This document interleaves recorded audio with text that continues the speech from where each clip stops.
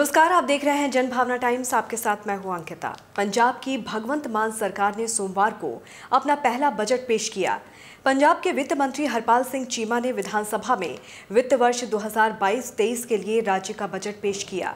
इस दौरान चीमा ने पंजाब विधानसभा में घोषणा की कि 1 जुलाई से मुफ़्त बिजली का वादा पूरा किया जाएगा। चीमा ने कहा कि 1 जुलाई से हर महीने 300 यूनिट मुफ़्त बिजली देने के लिए बजट में प्रावधान किया गया है। इस साल बिजली सब्सिडी पर छह करोड़ रुपए खर्च होंगे।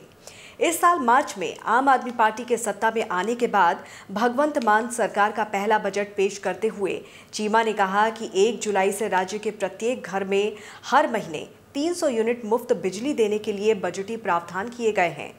चीमा ने यह भी कहा कि आप सरकार सुशासन का एक मॉडल स्थापित करेगी। उन्होंने कहा कि हमारी सरकार भ्रष्टाचार को बर्दाश्त नहीं करेगी।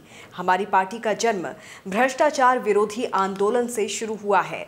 चीमा ने बजट भाषण से पहले कहा कि पंजाब सरकार का मुख्य उद्देश्य भ्रष्टाचार मुक्त शासन प्रदान करना है और राज्य के लोगों पर एक एक पैसा खर्च किया जाएगा। वित्त मंत्री ने कहा है कि सरकारी पोर्टल और ईमेल के माध्यम से बीस सुझाव मिलने के बाद बजट तैयार किया गया है और इसमें स्वास्थ्य और शिक्षा सहित अलग अलग क्षेत्रों पर खास तौर से ध्यान दिया गया है। चीमा ने कागज़ रहित बजट को पढ़ते हुए कहा कि पहले साल में हमारा ध्यान तीन मुख्य बातों पर होगा।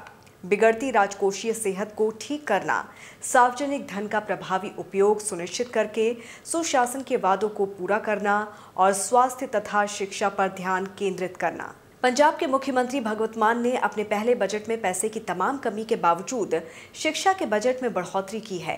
स्कूल शिक्षा बजट में पिछले साल के मुकाबले 17 फ़ीसदी की बढ़ोतरी की है, जबकि तकनीकी शिक्षा बजट में 48 और मेडिकल शिक्षा बजट में सत्तावन प्रतिशत का इजाफा किया गया है।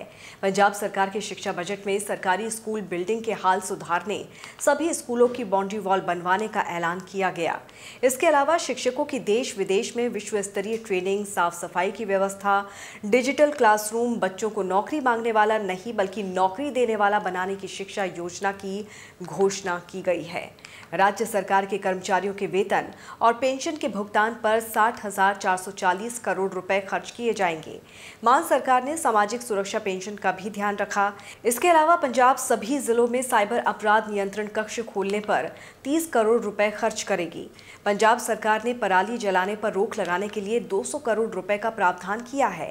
पंजाब के वित्त मंत्री हरपाल चीमा ने दावा किया है कि मान सरकार ने ये बजट आम लोगों की सलाह पर ही तैयार किया है। देश दुनिया की तमाम खबरों को विस्तार से जानने के लिए आप हमारी वेबसाइट www.thejbt.com को लॉगिन कर सकते हैं।